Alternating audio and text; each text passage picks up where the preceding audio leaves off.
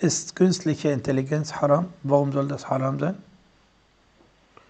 Künstliche Intelligenz ist äh, etwas, was wir für gut benutzen können oder für schlecht benutzen können.